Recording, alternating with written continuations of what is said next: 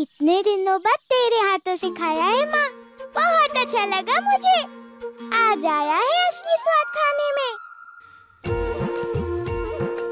पता है माँ तेरे हाथों से तो चावल में भी रसगुल्लों का स्वाद आता है।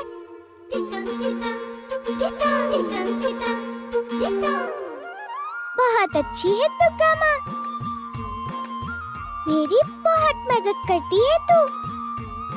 बहुत खुश हूँ मैं यहाँ पर। बहुत खुश बहुत खुश बहुत खुश। शक्ति। कैसी माँ हूँ मैं? तेरी इसी खुशी को ग्रहण लगाने जा रही हूँ। मुझे माफ़ कर देना दुर्गा माँ।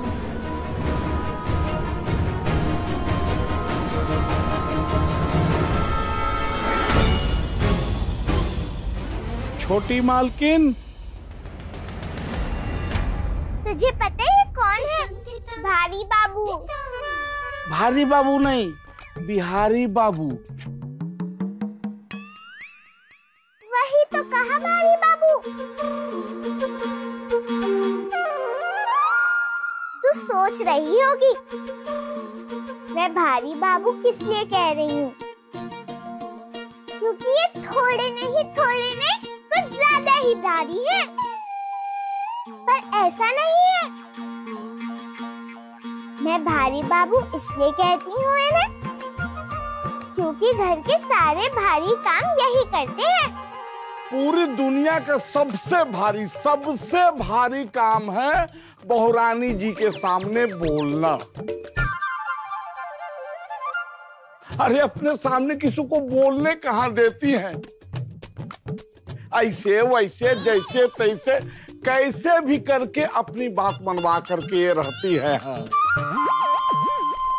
हमने तो मान ही लिया है कि हम बिहारी बाबू नहीं हैं हम तो भारी बाबू हैं। अरे इससे पहले कि हम भूल जाए हम किस काम के लिए आए हैं हम बता ही देते हैं। आ, माता जी आपको बड़े मालिक बुलवाए हैं। त्रिलोचन बाबू? चल, मैं भी चलती हूँ तेरे साथ। नहीं। तू अपने कमरे में जा, मैं जल्दी लौट कर आऊँगी। जा।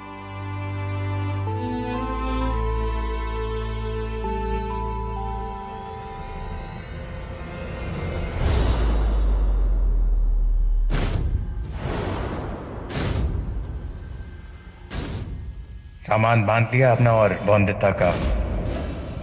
बैलगाड़ी कितने बजे बुलवा दें?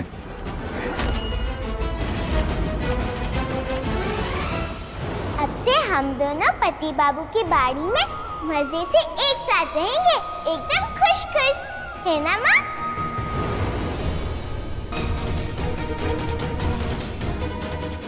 क्या हुआ? सांप सूंघ गया क्या?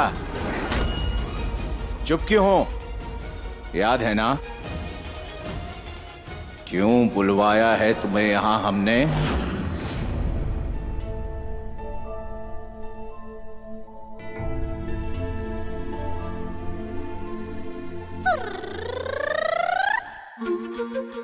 जितना आपने कहा था उतना ही पानी पिया है मैंने पति बाबू। शक्ति।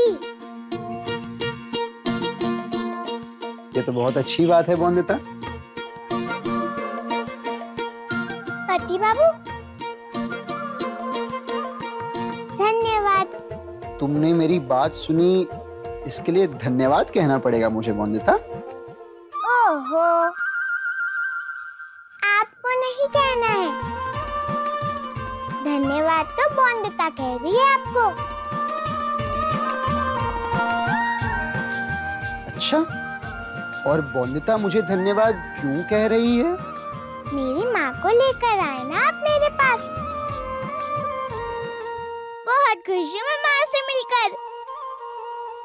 अगर आप कहेंगे देखूँगी भी नहीं पानी और रसगुल्लों को।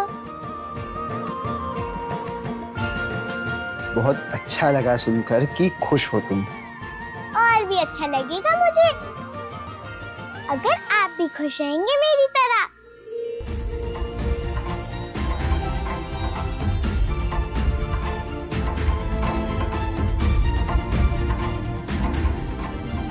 याद है ना? मैंने तुम्हें क्या बोला था तुम्हारे गाँव आके? तुम्हारी बेटी के भविष्य के बारे में? जानती नहीं थी कि तुम्हारी बेटी अशुद्ध है?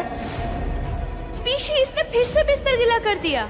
मैं बिस्तर बदल देती। यहाँ तो आप कर रही है। कल जब ससुराल चली जाएगी तब उसके ये गीले पोतरे कौन साफ़ करेगा?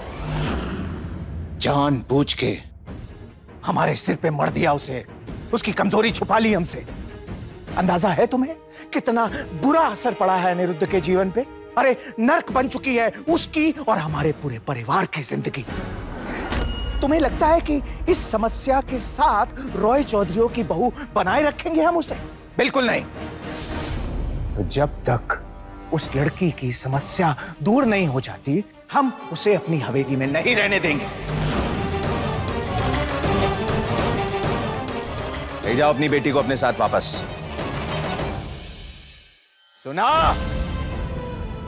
ऐसे ना कहिए जमींदार बाबू। और क्या कहेंगे जमाई बाबू से? मैं जानती हूँ। वो कभी नहीं चाहेंगे कि बौंदीता वापस आ जाए। बौंदीता की ज़िम्मेदारी का वचन लिया था उन्होंने। मैं जानती हूँ। वो कभी उससे पीछे नहीं हटेंगे। थोड़े समय हुआ है उनसे मिले हुए। पर इतना तो जान चुकी हूँ कि वो जो कहते हैं, वो करके दिखाते भी है। हाँ। इसीलिए हम लोगों का फ़र्ज़ बनता है कि हम उसे सही राह दिखाएँ। हम जानते हैं वो तुम्हें बहुत मानता है, तुम्हारी सुनता है।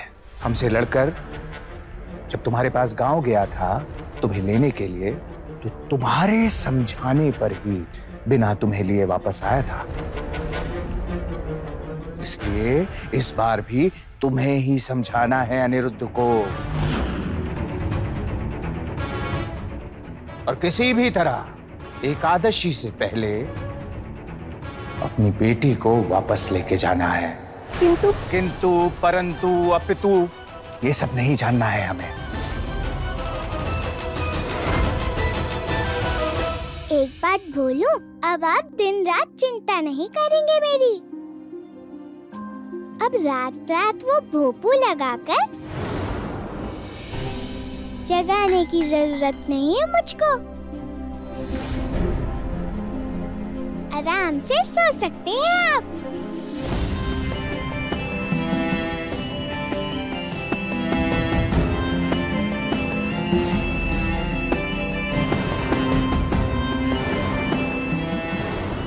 सुबह सुबह उठकर मेरी गंदी चादर साफ़ नहीं करनी पड़ेगी आपको। अच्छा तो ये सब काम माँ से करवाओगी क्या? माँ क्यों करेगी? मैं तो कहती हूँ अब इसकी ज़रूरत ही नहीं पड़ेगी। माँ आ गई है ना? ठीक कर सकती है। मेरी हर परेशानी का इलाज है उसके पास। अच्छा सुनो बोंदिता माँ को ना माँ को बता दिया है मैंने सब पति बाबू। और माँ ने कहा है कि सब ठीक कर देगी वो।